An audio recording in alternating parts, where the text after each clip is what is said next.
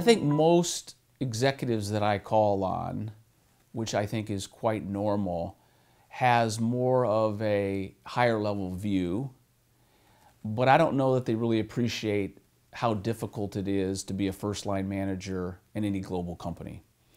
And in fact, this business was targeted for the first line manager. I think it's the hardest job in any global company. They're getting pressure from the customers, their partners, their management team, also their employees. And I think the pressure on that individual is very high, and yet most companies do not invest in the first line manager. They invest in tools at the sales rep level, they invest in methodologies, they invest in technology, but ultimately, in the end, most sales organizations do not invest in the first line manager.